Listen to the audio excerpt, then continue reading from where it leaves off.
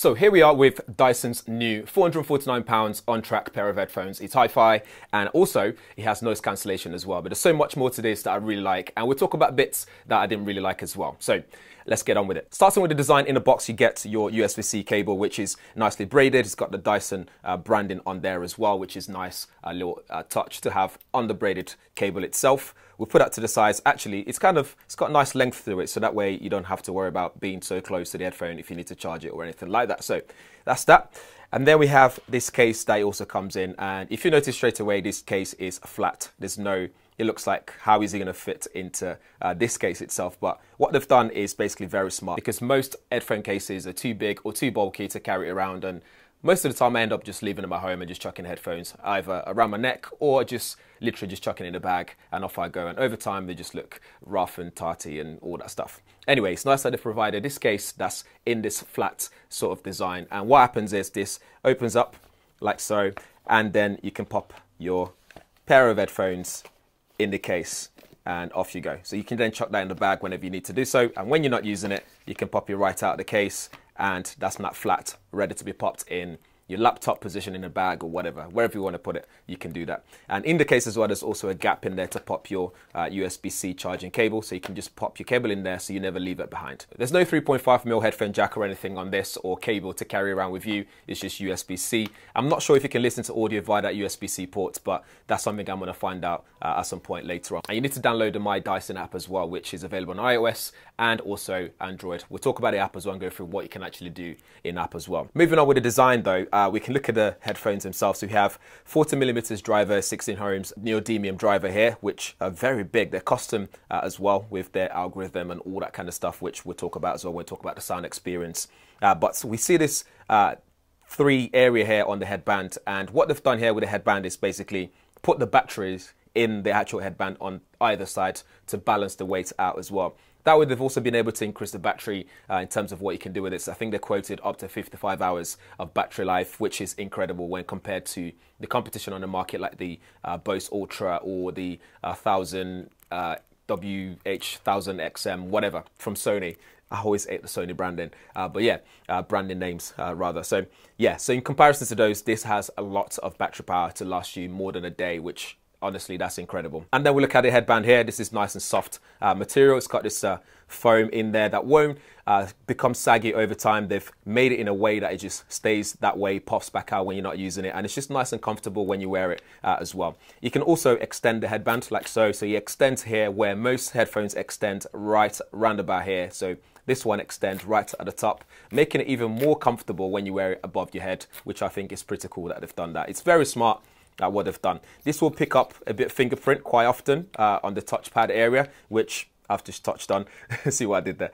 Uh, but this area is touchpad as well, so you can use that to control different things. Again, we'll go through that in app when we start to talk about it. We get sound feedback as well every time you tap it to let you know that something is happening. This is the copper version as well, so it's available in different colors you can have loads of different color combinations, different cushion color combinations, and so on and so forth. But what's pretty cool is you can replace this uh, CNC aluminium plate here. So by just rotating it like so, you're able to get inside this area and replace this plate with another color combination that you prefer. So if you don't like this copper finishing, you can just buy another one and replace it. I think it's around 40 pounds or so for extra ones in terms of the sets that you can buy. Don't quote me and. I'll leave numbers on the screen in terms of the pricing for that. So you can replace both sides very easily and put a different color to suit your style. So if you're, uh, and it's very easy to remove and put place back on as well, like so.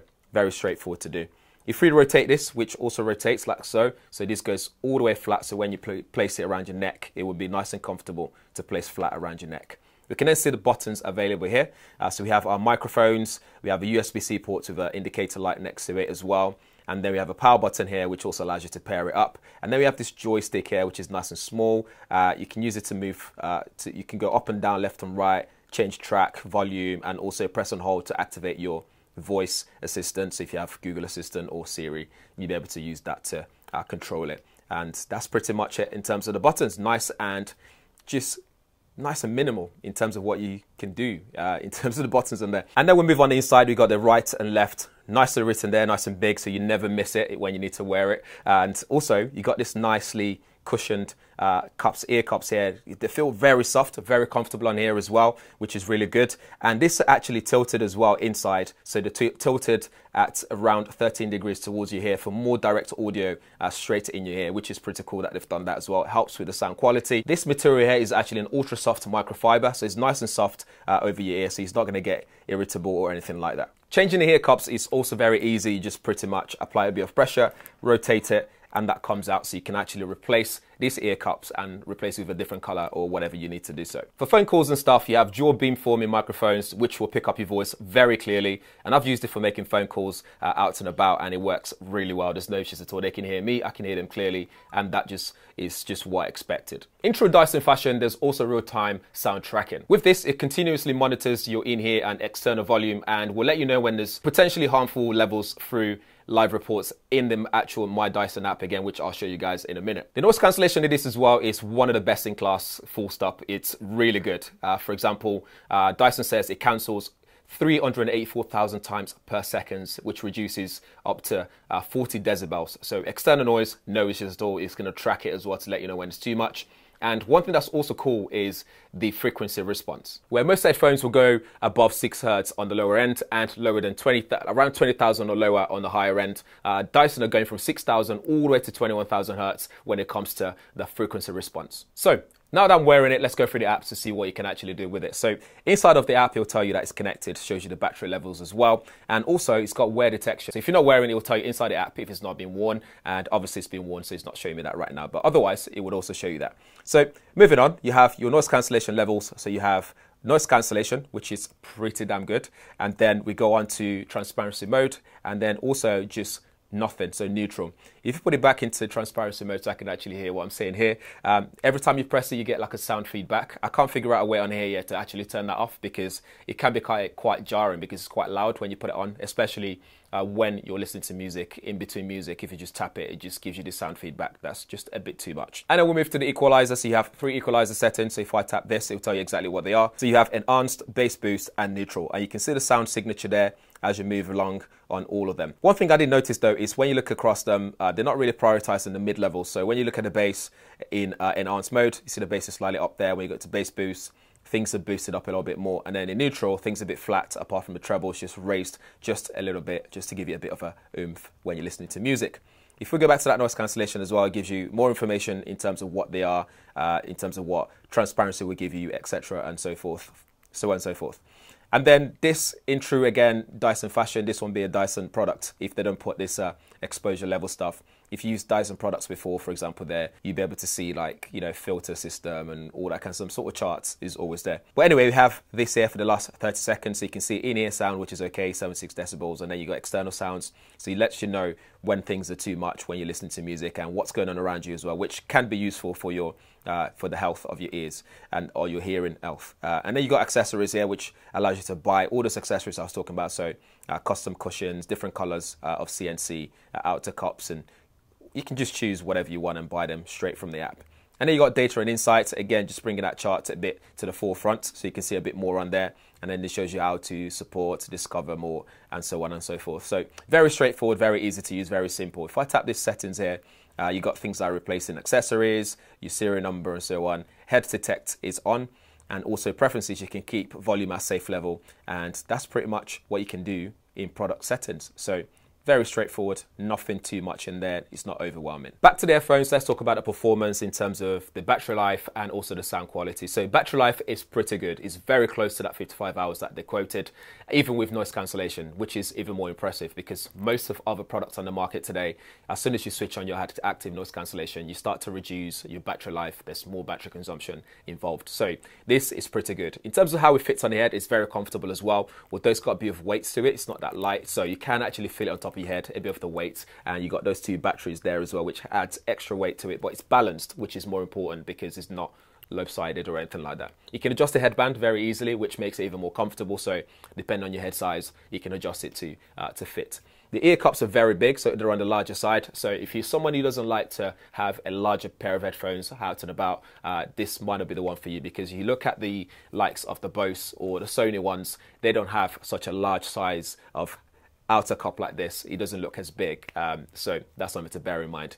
Some of the stuff that I didn't write, I didn't like about the uh, uh, OnTrac though is the fact that this material here, as much as it's very comfortable and it's a soft material in a hot uh, temperature, or if you're in a hot room or on a sunny day in London today, for example, it gets hot very easily. It's almost like you're wearing, um, you know, an extra layer on top of your ears, so it keeps your ears nice and toasty. But in the winter, it might be an advantage and keep your ears warm. So that's something to bear in mind. Another thing is there's no IP rating. Uh, at least I can't find that anywhere, which is a shame because that just means now if you sweat or anything like that, I don't know how this is going to cope with that. But uh, Dyson does say this is very robust. They just haven't given it a rating. Another thing that the competitors are doing is things like spatial audio. This doesn't have that. So again, that's something that's missing, especially at the price point that's competing uh, with the other other brands. So for example, this is on par with a sound uh, with a Bose counterpart or comp- competition. Uh, although you can pick that up now with reduced pricing, uh, but at launch it was about the same pricing. And then we look at the competition on the Apple side.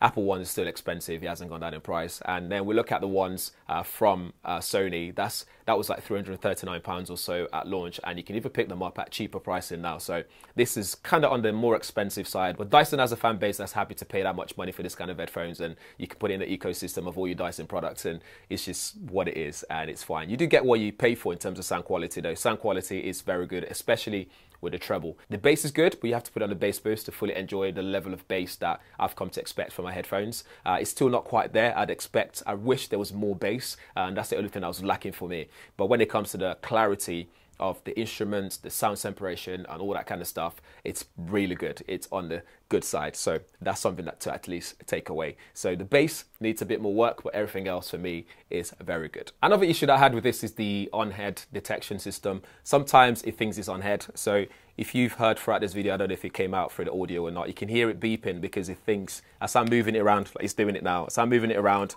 with my hands over the ear cups, it thinks that it's on top of my head. So that needs to be fixed as well. Maybe it's something that they can do in software. But that's everything for me. If this is your first time around here, please subscribe. If you have any questions, drop them in the comments below as well. And thanks for watching. I'll see you in the next one.